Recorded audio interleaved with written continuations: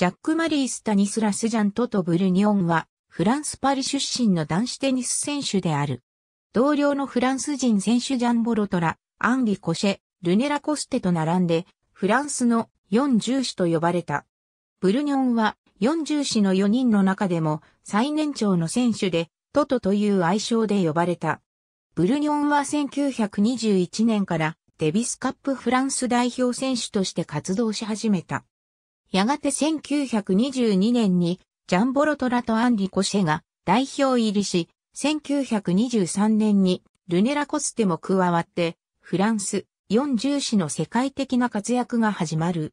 4人の中でブリニョンだけは4大大会のシングルスタイトルを獲得できなかったが、ダブルスで総計10勝を挙げた。パートナーはコシェと組んで5勝、ボロトラと組んで5勝を記録した。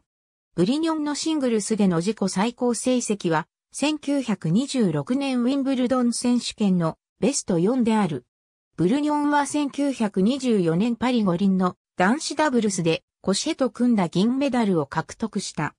ブルニョンとコシェは決勝でアメリカ代表のヴィンセント・リチャーズ、フランシス・ハンター組に6から4、2から6、3から6、6から2、3から6で敗れた。同部門では同じフランス、4重視のボロトラ、ラコステ組も銅メダルを獲得した。1929年10月、ブルニョンは、コシェ、ピエール・ランドリー、レーモンド・ロデルと共に4人の一行で来日した。日本テニス協会はこの日仏対抗戦のために、東京に2000人収容の仮設スタンド付きテニスコート2面を設置した。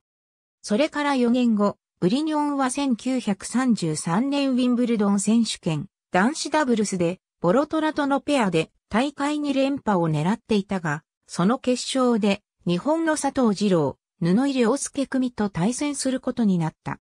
佐藤、布井組が第1セットを6から4で奪ったが、続く3セットをボロトラ、ブルニョン組が6から3、6から3、7から5で奪って2連覇を決めた。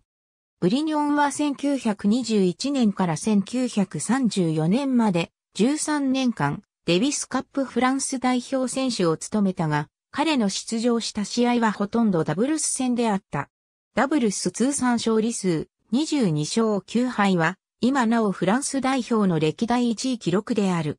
1974年、四重視の物語がアメリカの映画監督リチャード・レスターにより映画化された。レスターは前年の1973年にデュマの小説三重詩の映画化を行い、それに続いて1920年代マイナス1930年代前半に活躍した4人のフランス人テニス選手のドキュメンタリーも残したのである。